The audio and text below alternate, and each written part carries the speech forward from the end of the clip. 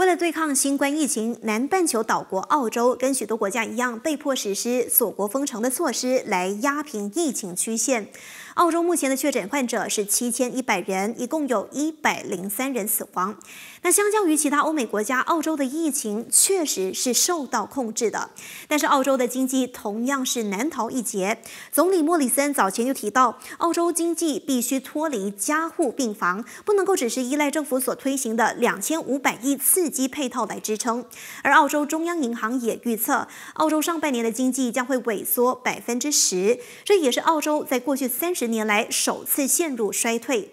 虽然各个行业都受到疫情严重的影响，但是澳洲却有一个行业因祸得福。小心翼翼包装好鲜花之后，整齐排放。受到新冠疫情影响，澳洲花农也无可避免地面对需求大减，被迫丢弃大量鲜花的窘境。但随着政府恢复经济活动，鲜花的需求也逐渐回温。加上政府依旧不准进口鲜花的引入，这就让澳洲花农瞬间受惠，个个脸上都重现了久违的笑容。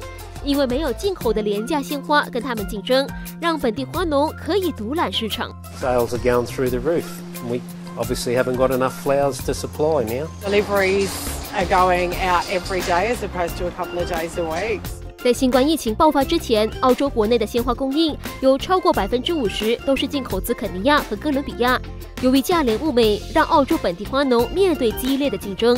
现阶段，澳洲花农只能在缺乏竞争下短期受惠，但要长期生存，就必须提高竞争力，来跟进口鲜花力拼市场份额。